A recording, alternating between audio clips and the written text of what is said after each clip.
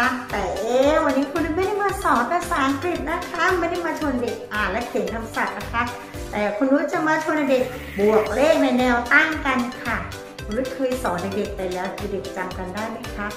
เด็กจำวิธีการคิด และวิธีการบวกได้ไหมคะถ้าเด็กพร้อมแล้วตามคุณนุชมาเลยนะคะเอาละค่ะเด็กๆ เรามาดูวิธีการคิดเลขแนวตั้งกันนะคะ เด็กๆจำได้ไหมคะว่าเลขแนวตั้งต้องมี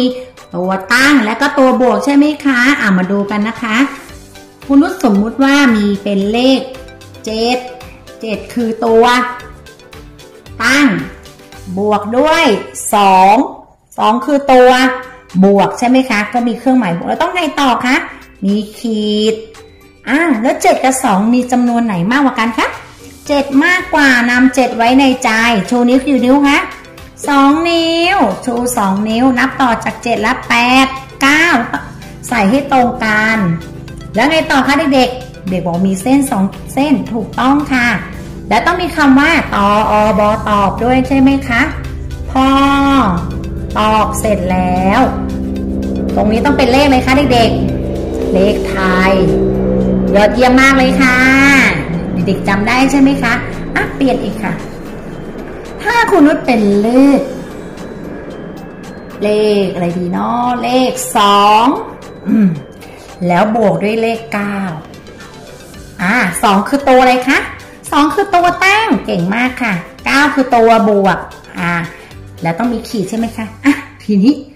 จำนวนไหนมีค่ามากกว่ากันคะเด็กๆอ่าจำนวน9มีค่ามากกว่านำ9ตัวล่างนี้ไว้ในใจชูนิ้วกี่นิ้วคะ 2 นิ้วค่ะ นับต่อจาก 9 นะ 10 11 11 อย่าลืมนะคะว่า 11 เป็นเลข 2 หลักใช่ไหมคะ เราก็ใส่ให้ตรงกันอย่างนี้นะคะ มีหลักหน่วยกับหลัก 10 เราให้หน่วยตรงหน่วย 10 อยู่ข้างหน้าค่ะ แล้วต้องมีคำอะไรอ๋อมีคำว่าตออบอตอบอ่าแล้วก็ต้องตอบเป็นเลขไทยแบบนี้ใช่ไหมคะ เด็กๆเก่งมากเลยค่ะยอดเยี่ยมค่ะ เอาละค่ะถ้าเด็กๆทำได้แล้วเด็กๆไปหยิบหนังสือ แบบเรียนคณิตศาสตร์มานะคะ แล้วเดี๋ยวเรามาทำแบบฝึกหัดไปพร้อม ๆ กันค่ะเรามาดูแบบฝึกหัดหน้า 40 กันนะคะ เจอหรือยังเอ่ยเขาให้เด็กๆทำอะไรคะหาผลบวก แล้วเติมคำตอบในช่องว่าง อีกครั้งหนึ่งนะคะ หาผลบวก แล้วเติมคำตอบในช่องว่างอ้าวเหมือนกับคราวที่แล้วเลยใช่ไหมคะ มี เลขตามรอยเส้นประเลขหนึ่งไทยจนถึงเลข10ไทยนั่นเองค่ะเด็กๆเขียนเองเลยได้ไหมคะอ่าคุณลูกเขียนให้ดูหนึ่งตัวนะคะเด็กๆเขียนเองเลย เขียนทับรอยเลยนะคะ อย่าลืมค่ะวิธีการเขียนหมุนหัวค่ะ เลขสองไทยโค้งขึ้นมาแล้วก็ลงค่ะ โค้งมาทับเส้นอย่างนี้เลยนะคะ เลขสามไทยค่ะ วงกลมค่ะ โค้ง ขีดลงมาให้ถึงเส้นข้างล่าง โค้งขึ้นลงข้างล่างค่ะ เลขสี่ไทยค่ะ หมุนหัวกลมๆก่อนค่ะ แล้วลากมาค่ะ ค่อยๆ ลากมาทับเส้นขึ้นค่ะ ต่อไปเลขห้าไทยโค้งเหมือนกันค่ะ คล้ายๆ เลขสี่ไทยค่ะ แต่ว่าหมุนหัวก่อนนะคะ แล้วก็ค่อยโค้งขึ้นค่ะอ้าวเลขหกไทยเหมือนกันค่ะเขียนคล้ายๆ กัน ลงมาปุ๊บขึ้นค่ะครูเชื่อว่าเด็กๆเขียนได้ค่ะ เพราะเราเคยเขียนเมื่อคราวที่แล้วแล้วนะคะ เลขเจ็ดไทยค่ะ เลขแปดไทย หมุนหัวนะคะ อ้าว โค้งขึ้นค่ะ เก่งมากเลยค่ะ อ้าวเลขเก้าค่ะ ง่ายไหมคะ อ้าวแล้วก็เลขสุดท้ายค่ะเลขสิบไทย เขียนทับเส้นค่ะ เอ๊มาดู หาผลบวก คราวนี้ เด็กๆสังเกตสิคะ ไม่มีรูปภาพแล้ว อ่า ไม่มีรูปภาพแล้ว มีตัวตั้งและตัวบวกเลย 2บวก2ได้เท่าไหร่นะ เราก็จะใช้วิธีใช้นิ้วค่ะเด็กจำได้ไหมคะ2ชูนิ้วขึ้นมากี่นิ้วคะ2 นิ้วค่ะ แล้วก็อีก 2 นิ้วนับรวมกันได้เท่าไหร่คะ1 2 หักนิ้วลงนะคะ 3 4 ได้กี่นิ้วคะ4 นิ้วเราใส่เลข 4 ค่ะ เด็กๆทำได้คุณครูเชื่อว่าเด็กๆแล้วอย่าลืมตออบตอเราต้องใส่เป็นเลขไทยนะคะ เด็กๆโค้งค่ะ เอ๊ มาดูข้อต่อไปค่ะ6บวก2เด็กสังเกตสิคะ เลข 6 กับเลข 2จำนวนไหนมีค่ามากกว่ากันคะได้ยินเด็กบอกเลข 6 ถูกต้องค่ะ เรานำ6ไว้ในใจนะคะเด็กๆแล้วชูนิ้วขึ้นมากี่นิ้วคะ2 นิ้วค่ะ 2 นิ้วแบบนี้เลยนะคะ 6 อยู่ในใจแล้วนับต่อจาก 6 ค่ะ 6 แล้ว 7 หักนิ้วลงนะคะ 7 และ 8 เพราะฉะนั้น 6 บวก 2 ได้ 8 นั่นเองค่ะ ใส่ 8 แล้วอย่าลืม ต่ออบตอเป็นเลขไทยนะคะ อ่า อันนี้เหมือนกันค่ะ2บวก8 2บวก8เอ๊ะจำนวนไหนมีค่ามากกว่ากันคะ8 เพราะฉะนั้นนำเอาเลข 8 ไปที่ไหนคะ ไว้ในใจชูขึ้นมากี่นิ้วคะ2 นิ้วอย่างนี้เลยนะคะ นับต่อจาก 8 8 และ